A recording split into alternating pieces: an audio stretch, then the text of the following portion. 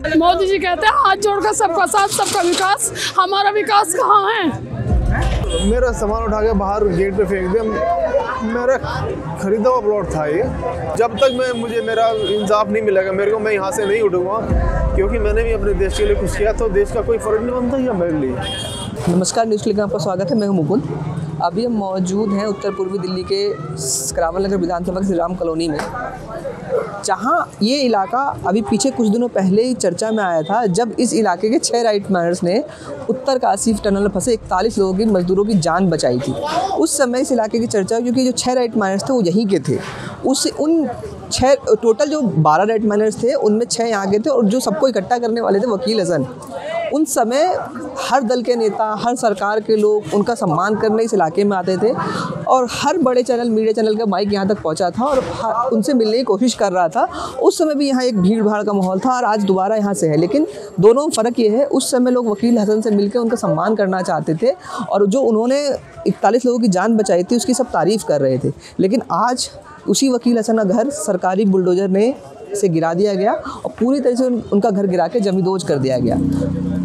जो सरकारी अथॉरिटी है डीडीए उसका कहना है ये जमी, ये मकान उसकी अपनी ज़मीन पर बना हुआ था, इसलिए उसने इंक्रोचमेंट हटाने के लिए किया हुआ और हालाँकि पहले भी कई बार उनके मकान पर इस तरह की कार्रवाइयाँ हुई हैं।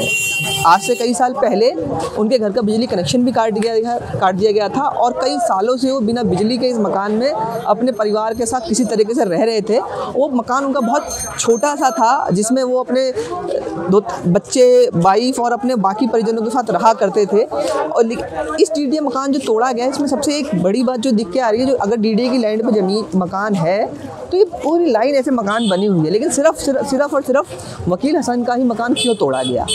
इसी सब हालात पे बात करने के लिए कब हुआ कैसे हुआ इस घटना के बाद वकील हसन क्या सोच रहे हैं उनका परि, परि, परिवारों क्या किस हाल में है ये जानने के लिए हम यहाँ पर पहुँचे उन्हें घर पर हमने उनसे बातचीत की।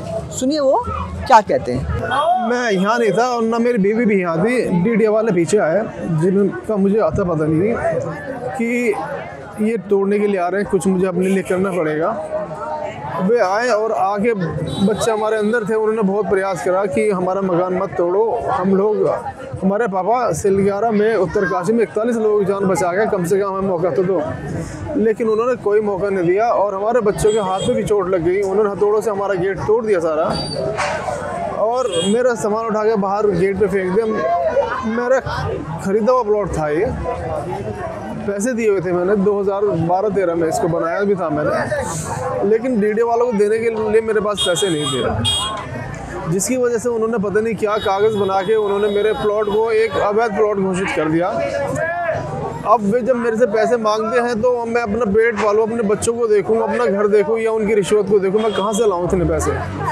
हमें, हमारा पेट पलने मुश्किल हो जाते हैं, हम इन्हें रिश्वत कहाँ से दे दें? और इसी चीज़ को इन्होंने दुश्मनी में तब्दील करके मेरे मकान को तोड़ दिया। मैं, मुझे मनोज तिवारी जी हैं, सांसद हैं हमारे क्षेत्र के, उन्होंने भी आश्वासन दिया था कि हसन, तुम्हारे मकान को कुछ नहीं होगा, हम बनवाएँगे इस मकान को। जैसे इन्होंने दरवाज़ा तोड़ा दरवाज़ा तोड़ने के बाद में जब मेरी मम्मा का कॉल आया था तो मम्मा की तबीयत ख़राब हो रही थी। इसकी वजह से मैं घबरा गई थी और मेरी सांस अटक गई थी। तो ऐसे में पता नहीं मैं अंदर कैसे चली गई, मैं वहाँ पे झुक गई थी। तो पुलिस ऑफिसर ने कहा कि वो लड़की अंदर चली गई, उसको लेकर आओ और लेडीज़ पुलिस ने अंदर लेके जाके प्यार से की बजाय और मेरे मार के मुझे लेकर आई। मेरी गर्दन पे भी मारा, मेरे चाँटे भी मारे। और फिर ये भी कहते तुझे तुझे तो बताऊँगी। और पूरे रास्ते ऐसे ही कर रही थी मुझे। बदतमीजी करते हुए जा रहे थे हाँ जी और बहुत ज़्यादा लाउडली लाउडली बात कर रही थी। और भाई के साथ भी पुलिस वालों ने बहुत बदतमीज़ी करी और तो और उनको डंडोडोली कर कर तब लेकर गए कार तलक। कैसे लगे एक ने हाथ पकड़ कर और एक ने पैर पकड़ कर। मेरे पीछे ये लोग आए और आके उन्होंने बच्चों को मारा पीटा बाहर निकाला और घर तोड़ दिया। मुन्ना कुरैसी को भी अंदर बंद कर दिया वकील हसन को भी मेरे बेटे को भी मेरी बेटी को भी।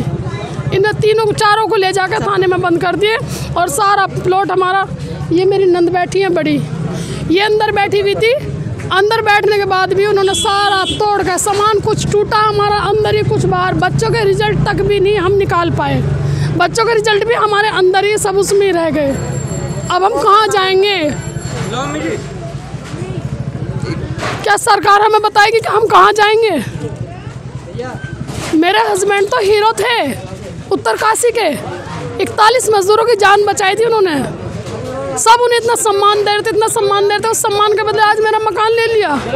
तो मैं ये सवाल करना चाहता हूँ ये ये सी बनवाना कहते हैं कि तो, सर आप मुझे घर के बाहर बैठा था मेरे बच्चे बाहर बैठ गए मैं कहाँ जाऊँ? कहाँ जाऊँ कुछ मुझे समझ में नहीं आ रहा। आपने जिस तरह से आपको उस समय बहुत सारे लोग मिले थे, बातचीत हुई थी तो अभी किसी का बातचीत हुआ है? किसी को आपने सूचना दी तो कोई बोल रहा है, बता रहे हैं? सर सर, सब कह रहे हैं, बात कर रहे हैं, हम बात कर रहे हैं और बात कर रहे हैं। बात करते करते शाम हो चुकी है बात करते करते मेरी बाउंड्री हो चुकी। किसी ने आगे यूँ नहीं झाँका कि हाँ हसन, तुम्हारे साथ क्या हो रहा है? मीडिया ने भी अपनी टीआरपी बढ़ाई, सब मंदिरों ने भी हमें सम्मानित करके अपने सम्मान बढ़ाया, हमें, हमारे घर से भी उजाड़ दिया। हमें हमारा घर जो था वो भी नहीं दिया। हमने मुझसे नहीं मांगा मैंने बोला भी था सर हमें आपसे कुछ भी नहीं चाहिए। हमारा जो हमें एक हौसला है वो ही हमें दे दीजिए। हमें और कुछ चाहिए ही नहीं। मोदी जी कहते हैं हाथ जोड़कर सबका साथ सबका विकास। हमारा विकास कहाँ है? मैं ये मैसेज देना बड़ा चाहूँगा। जब तक मैं मुझे मेरा इंसाफ नहीं मिलेगा मेरे को मैं यहाँ से नहीं उठूँगा क्योंकि मैंने भी अपने देश के लिए कुछ किया तो देश का कोई फ़र्क नहीं बनता या मेरे लिए।